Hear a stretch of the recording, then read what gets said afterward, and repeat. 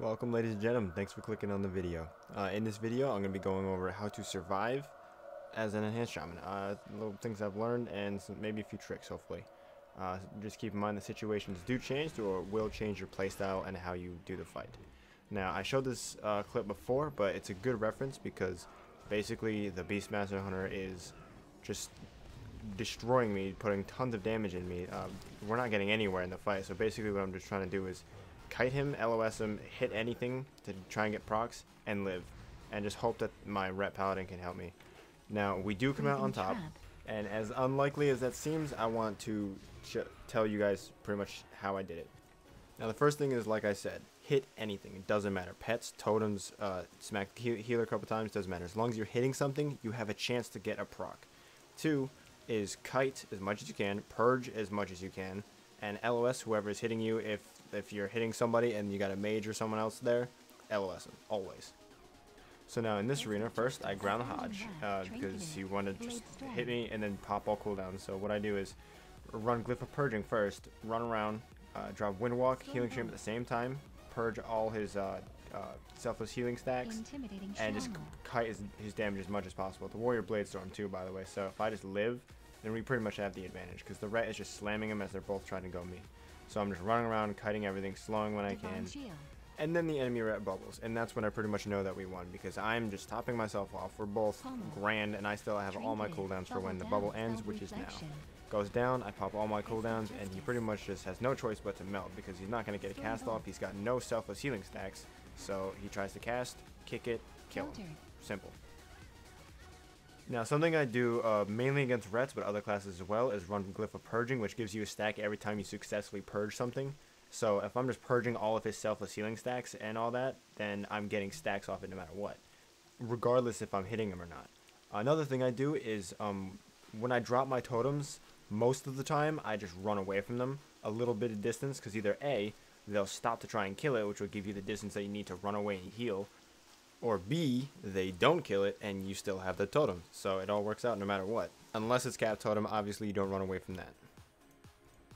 So let's take this arena for example. So both of them have magic, so that means uh, Glyph of Purging is extremely useful. They do have bubble and block, but that's fine as long as you're kiting, purging, and you have your totems.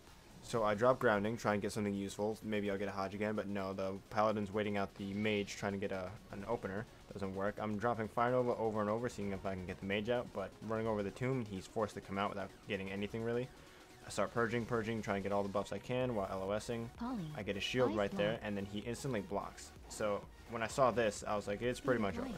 Drop uh, Windwalk so that if he comes out and he's got the Ice Nova Glyph, we're good to go. He goes on him. I decide to stay on the mage and hit the pit for a couple quick stacks. He prismatic crystals. I trinket, get out of there real quick, and they overlap, so that's perfect. I just run away, start kiting, purging, uh, getting the stacks, and I jump on top of the mage again. Now it looks pretty bad right here, but I pop cooldown, so regardless of the mage blinking away, he's still within hitting range, so I'm wind striking and, and auto attacking and still getting stacks, so it's perfect.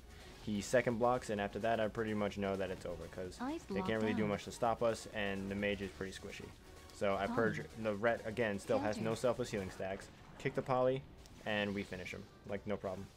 He actually and tries to bop him, down. and I'm continue purging, get it first off, and then down he goes. Okay, so now we're going to test the Storm Elemental healing that it can do. Now, I have Primal Elementalist, so let's see how much. So, it starts off at 80% stronger, and it does this, which gives it a 300% healing increase. Now, 380%.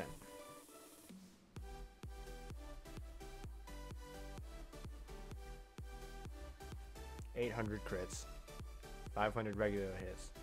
That's an enhanced Ellie that casts a spell for increased healing. This is why I get so annoyed with the talents and why I just don't see why this is useful in any way. This is the enhanced version. So I'm led to believe that non-primal elemental elemental is even worse. So that's that healing. That was pretty disappointing. But some last minute uh, tips are one, uh, don't hesitate to use Shaman Rage. It's only a one minute cooldown and uh, it does do the job. You can also glyph it to do an extra 30% damage reduction. It will increase the cooldown by a minute, but it'll that's like an 80% when you couple all of the damage reductions that's 80% damage less right there it uh, most uh, enemy offensive cooldowns are two minutes so just something to throw into the mix another is you can utilize flame of life glyph which is every flame shock you throw out there will do 45% uh, of the damage will be healed back to you it's up to you if you want to do that um, it's I feel it's good in BGs and RBGs because you can really spread them around while as threes and twos it's just a couple so it may not be worth it but it's just one of those extra uh, healing things you can do. And the last one is use Spirit Wolves and uh, Storm Ellie sort of preemptively. So, because most of the time you will get stunned before they start popping stuff to kill you, so you won't have a chance to use them other than Sham Rage. So if you use them at around like maybe 50% or even like 60, 75%, uh, they will do the job at keeping your health sort of stabilized when you're inevitably in that stun or fear or whatever it is. Now, I just want to apologize for the inconsistent videos. I've been sick lately, and I just have been sleeping a lot and headaches and all that, blah, blah, you know how it is. Um, I also want to say that I do have a Twitter account and a Twitch account, so um, you can follow my Twitter and ask me questions there. I always check it, and it'll let you know when I do stream and I start streaming consistently again. So thanks for watching guys, hope you enjoyed it, hope you learned something, and I'll be pumping out arena videos when I finally get a team. I'm on a dead server and nobody's looking for enhanced shamans, and it sucks, but it will happen. Thanks guys.